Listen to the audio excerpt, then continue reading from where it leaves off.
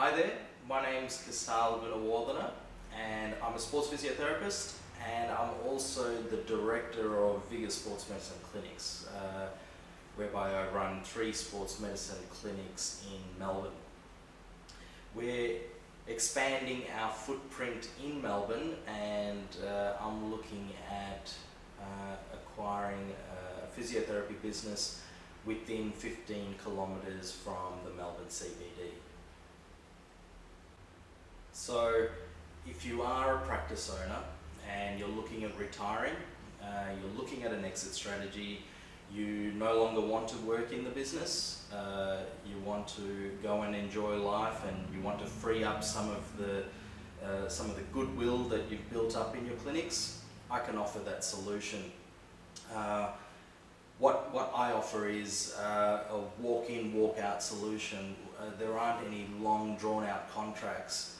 Um, you know, you don't have to stay on board. Uh, once we take over, you don't have to stay on board for the two, three, four years. Uh, four years. Uh, we walk in, you pretty much walk out. There are three prerequisites that we will look at.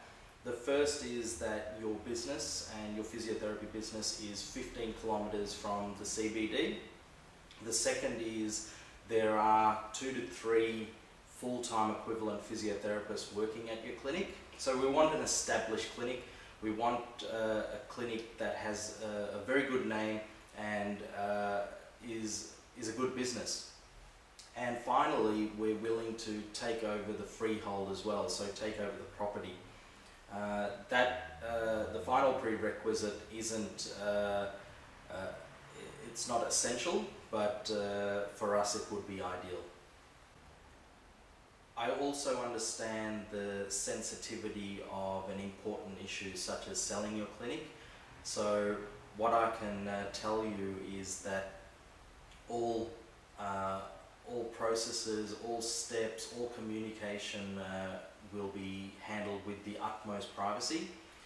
All of these steps will be handled by me personally and that is why I've left you my mobile number on, uh, on the website. I've also put my email address on it, which is my personal email address. Uh, so any correspondence will come to me directly. Um, I hope uh, this video has uh, thrown some light into uh, what we require and the type of uh, person you'll be, uh, you'll be dealing with. I hope you have a great day and my name is Kusal Goonewardena